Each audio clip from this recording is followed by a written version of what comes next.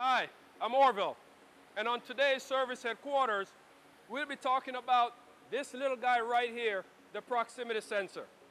Now we've used these sensors all across Haas product line, and today I'm going to give you an overview of some easy ways you can troubleshoot problems with these sensors.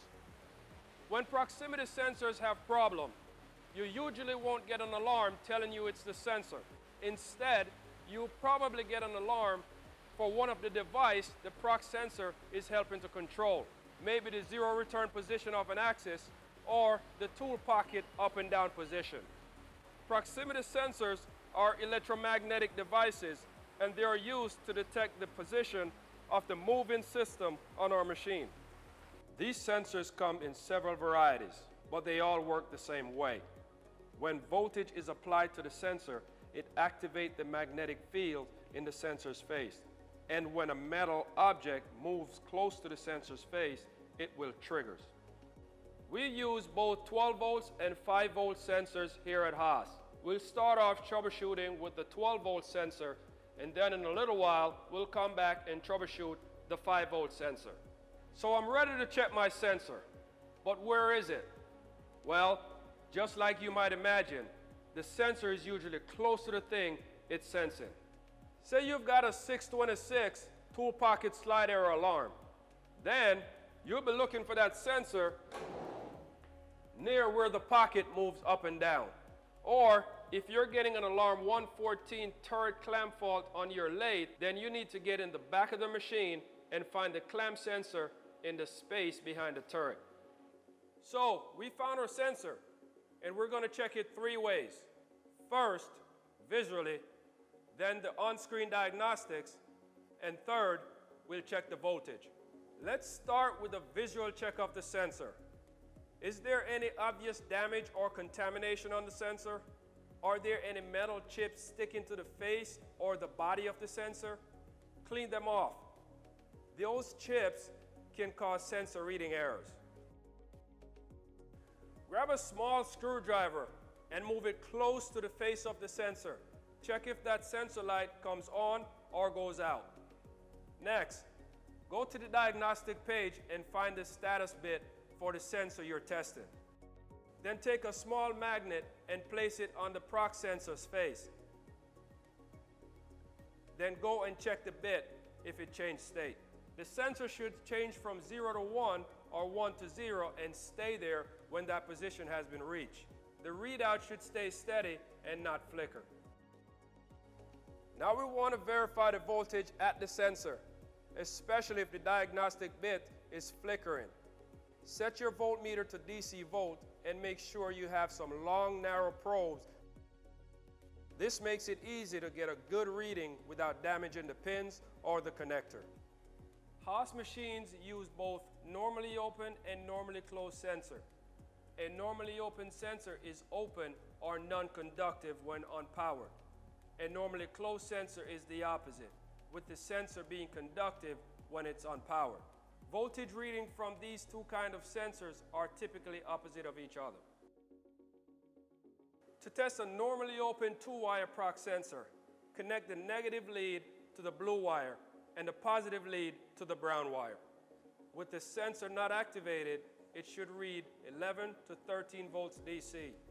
With the sensor activated, it should only read 2 to 3 volts DC. To test a normally closed two-wire prox sensor, connect the negative lead to the blue wire and the positive lead to the brown wire. With the sensor not activated, it should read 2 to 3 volts DC and with the sensor activated, it should read 11 to 13 volts DC. To test a normally open three-wire prox sensor, connect the negative lead to the blue wire and the positive lead to the black wire. With the sensor not activated, it should read 11 to 13 volts DC. With the sensor activated, it should read 0 to 2 volts DC. If you have voltage at the sensor, but the sensor will not change state when the bit is stripped, then the sensor needs to be replaced. This is true for both normally open and normally closed sensor. Now, so far we've only checked the voltage to the sensor. If the sensor's diagnostic bit didn't change, we need to figure out our problem with the sensor.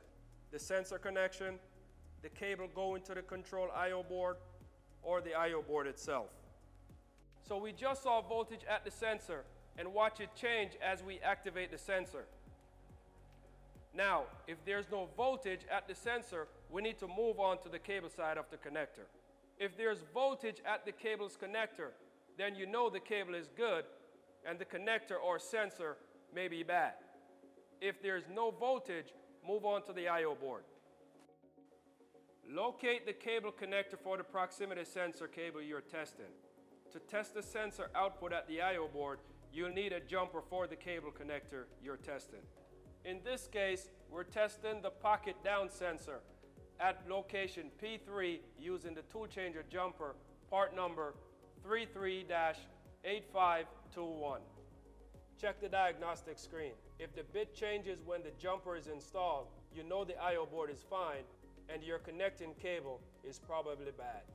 If the bit doesn't change, then you need to call your HFO and have them come and check your I.O. board for possibly issues. So that wraps up the testing for the 12 volt sensor. That leaves us with the 5 volt sensor and they're tested a different way. 5 volt sensors are used in all or axis home position and voltage can't be measured at the connector like the 12 volt sensor.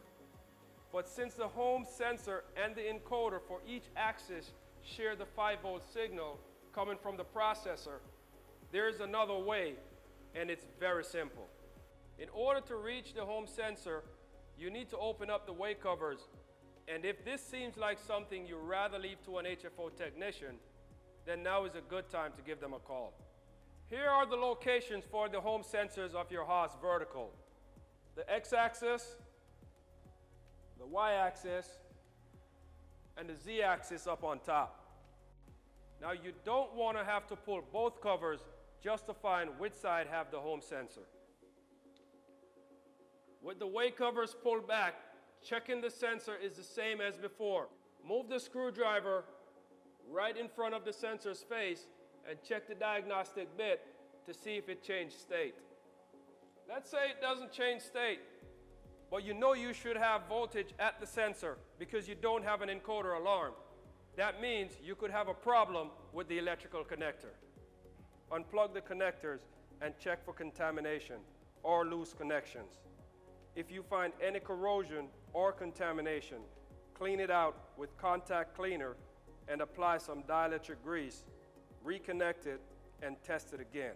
If the pins are loose in the connector, then it's time to replace the sensor. You can order a replacement sensor at haasparts.com. Finally, there could be times when the sensor is working, but it's not reading the trip flag. If the screwdriver triggers the state of the sensor, chances are the sensor is good. Now we need to check if the sensor is physically close enough to the trip flag to detect it. Jog the table to the position where the trip flag is adjacent to the proximity sensor. And then e-stop the machine.